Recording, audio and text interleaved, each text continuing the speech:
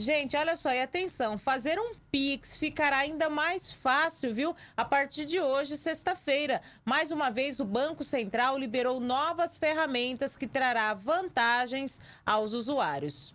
Desta vez, o Banco Central modificou a forma de pagamentos através da ferramenta Pix. Se era ágil antes a forma como os usuários estavam acostumados a realizar os pagamentos de compras, serviços ou transferências através da ferramenta, agora ficou ainda mais fácil, reduzindo de sete para três passos todo o procedimento, levando em conta o mecanismo financeiro tecnológico para efetivação dos pagamentos. A principal vantagem para o usuário é que ele não precisa mais sair do ambiente de compra para fazer a transferência via Pix, seja através de um site ou através de um aplicativo.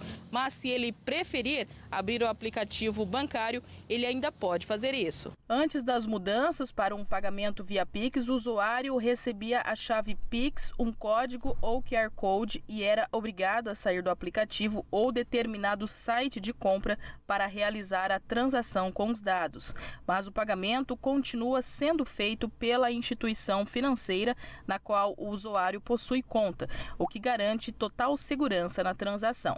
O WhatsApp foi uma das empresas já autorizadas pelo Banco Central a operar com pagamentos. Até então, os serviços de transferência via WhatsApp precisa de cadastro de um cartão da empresa parceira, mas isso poderá mudar em breve, ampliando as possibilidades de uso aos usuários caso o WhatsApp passe a oferecer a modalidade Pix na plataforma.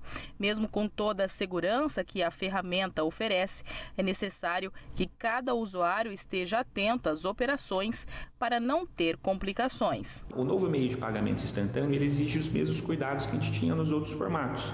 Então, desde links que chegam por e-mail, por SMS, por WhatsApp, uh, exigindo o cadastro né, de, de lugares que você nem conhece ou que você nunca acessou, enfim, com oferta de produtos abaixo do preço, tome cuidado. Lembrando que a responsabilidade da transação ela acaba sendo do usuário que está ali utilizando o, o, serviço. Então, nesse caso, é muito importante que ele tenha muito cuidado, desde essa parte de uh, quais as transações que ele está fazendo, para quem que ele está enviando, conhecer né, com quem que ele está operando através do, do, da, da, da ferramenta.